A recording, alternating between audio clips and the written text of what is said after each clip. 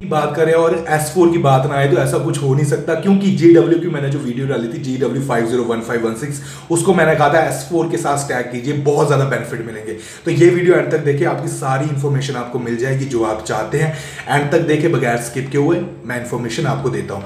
जी बहुत बढ़िया करता है फैट कटिंग में हेल्प करता है। इवन इसको अब तो स्टैक किया जा रहा है क्लैन बुट्रोल और टी के साथ। पर मैं आपको एक सिंपल सी चीज़ बता देता हूँ, जो एस है, उसके भी बहुत ज़्यादा बेनिफिट है। और बहुत माइल्ड भी है। जैसे ऑस्ट्रीन बहुत माइल्ड है, उसके साइड इफ़ेक्ट नहीं है। सिर्फ़ एक ही कंडीशन में साइड इफ़ेक्ट है, जब आप ओवरडोज करते हो, वैसे ही वैसे ही जो एस फोर है, उसके भी साइड इफ़ेक्ट नहीं है। बेनिफिट ही बेनिफिट है, आपको यूज़ करने का तरीका पता होना चाहिए कैसे करना है। तो इस वीडियो में मैं एक्सप्लेन कर देता हूँ। जी डब्ल्यू को इसके साथ लेने की ज़रूरत नहीं है। हाँ अगर आप बहुत बढ़िया बेनिफिट चाहते हैं तो जी जी डब्ल्यू को ज़रूर ले। पर एस फोर को अकेला चलाया जा सकता है। लीन मसल मास गेन होगा, जैसे रैड वन फोर्टी के साथ होता है। पर रैड वन फोर्टी बहुत ज़्यादा स्ट्रॉन्ग है, आपको प्रॉब्लम हो सकती है, उससे साइड इफ़ेक्ट ज़रूर मिल सकते हैं। Even L G D forty thirty three से भी साइड इफ़ेक्ट मिलते हैं। पर ये एस फोर जो है, इससे साइड इफ़ेक्ट नहीं मिलेंगे, जैसे रैड वन फोर्टी से मिलते हैं और एलजीडी से। एस फोर की बात करूँ तो वैस्कुलरिटी बनाने में बहुत ज़्यादा मदद करता है, जिसको कहते हैं dry look lean muscle gain करना और ड्राई लुक देना, इसके बहुत बढ़िया बेनिफिट है एस फोर के। ये दोनों ही चीज़ें देता है। जैसे कॉम्पिटिशन टाइम की जो लीन हार्ड मसल गेन होता है ना ड्राई सा वो एस फोर देने में बहुत ज़्यादा मदद करता है। और दूसरी चीज़ मसल गेनिंग में भी हेल्प करता है। Even cutting during calorie deficit में, अगर आप मसल गेन करना चाहते हो तो एस फोर जो है, आपके लिए बहुत ही ज़्यादा बेनिफिशियल हो सकता है। ठीक है? इसका जो काम करने का तरीका है, ये मसल डेंसिटी बढ़ाएगा। हालाँकि इस पर टेस्ट रिपोर्ट्स आ चुकी हैं कि मसल डेंसिटी को बढ़ाता है मसल साइज़ गेन करता है, और इवन बोन डेंसिटी को भी बढ़ाता है। मिनरल्स वगैरह उसमें अटैच करता है। मतलब कि बोन्स की हेल्थ के लिए भी बढ़िया और मसल बिल्डिंग के लिए भी। और दूसरी चीज़ प्रोस्टेट की प्रॉब्लम नहीं होती, जैसे कि स्टीरॉइड्स वगैरह से हो सकती है और दूसरे कई खतरनाक हार्मोन से भी हो सकती है। तो एस फोर जो है सेफ़ साइड में ही है माइल्ड भी है। दूसरी चीज़, आपने दस एम से इसकी शुरुआत करनी और छोटी साइकिल अगर किसी के किसी के साथ स्टैक कर रहे हैं, फिर थोड़ी लंबी कर सकते हैं। अगर आप मतलब नॉर्मल इसके बेनिफिट चाहते हैं तो चार वीक की साइकिल में भी बेनिफिट मिल सकते हैं, चार से छः वीक चला सकते हैं दस एम और ये बहुत ज़्यादा चीप है फ्रेंड्स 2000 से 2500 में इजीली मिल जाएगी आपको 60 कैप्सूल इजीली मिल जाते हैं और सस्ता है। बहुत ज़्यादा सस्ता है यार। दूसरों के दूसरे साम के मुकाबले बहुत ज़्यादा सस्ता है। और इसके हार्ड मसल गेनिंग इफ़ेक्ट भी इतने तगड़े हैं। डीएसटी भी नहीं बढ़ाता। वाटर रिटेन भी नहीं होने देता। डीएसटी से जैसे प्रॉब्लम हो सकती है हमें। वो ऐसी प्रॉब्लम इसके साथ नहीं होगी। वो वाटर रिटेंशन भी नहीं करेगा। फ्रेंड्स और क्या चाहिए?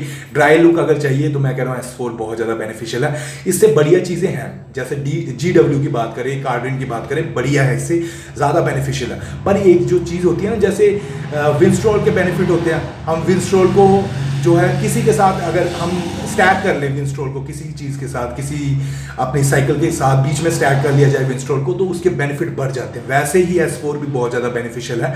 और हार्ड मसल लुक देने में वैस्कुलरिटी बनाने में, बढ़िया पंप देने में जिम के अंदर जाओगे तो क्या पंप मिलेगा आपको, देखोगे आप। और वैस्कुलरिटी भी इतनी बढ़ती है, जैसे ये विंस्ट्रोल वगैरह के बेनिफिट मिलते हैं hard muscle dry muscle vascularity में वैसे ही इसके भी मिलने वाले हैं। ठीक है? तो टेस्टास्टेरोन बनने से जो डीएसटी की प्रॉब्लम होती है, इससे नहीं होगी।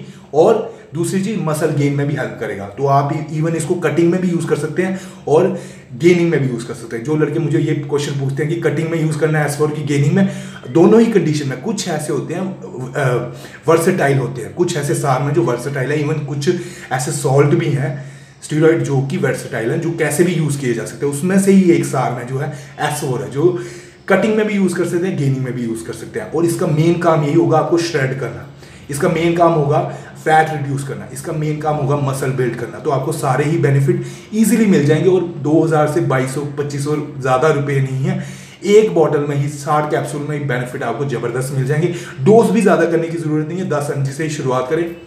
मैं कह रहा हूँ बीस एम तक अगर आप मैक्सिमम चले जाए, कोई साइड इफ़ेक्ट नहीं मिलेगा बट दस एम में भी आपको बेनिफिट मिलेंगे। आपको पहले हफ़्ते से ही पता लगने लग पड़ेगा। कुछ ऐसी कंपनियाँ भी है जो इससे भी सस्ता दे रही है, पर मैंने जो बताया आपको वो एवरेज प्राइस बताया है इसका। तो मार्केट में जो है दो हज़ार पच्चीसों में इजीली मिल जाएगा साठ कैप्सूल इसके, दस एम का पर कैप्सूल ठीक है? तो बेनिफिट इसके इतने ज़्यादा साइड इफ़ेक्ट इसके मिनिमम है वाटर भी रिटेन करेगा, और भी इतने ज़्यादा बेनिफिट अगर GW के साथ स्टैक करना चाहो तो फिर आपको कटिंग ही करनी चाहिए। अगर G W five zero one five one six के साथ इसको स्टैक करना चाहते हो एंड्रीन को तो आपको कटिंग करनी पड़ेगी, हालाँकि थोड़े से रिस्क बढ़ जाते हैं उसके साथ। ठीक है? पर S4 को अकेला चलाया जा सकता है, बगैर किसी साइड इफ़ेक्ट को मिले हुए। तो कोई साइड इफ़ेक्ट नहीं होगा बेनिफिट ही बेनिफिट होंगे, अगर अकेला चलाते हो। जैसे ऑस्ट्रिन की मैंने साइकिल बताई है बेनिफिट ही बेनिफिट है साइड इफ़ेक्ट कोई भी नहीं है, आप जाके देख सकते हैं। दस एम में भी उसके बेनिफिट मिलते हैं। वैसे ही एस के भी बेनिफिट ही बेनिफिट है साइड इफ़ेक्ट नहीं है।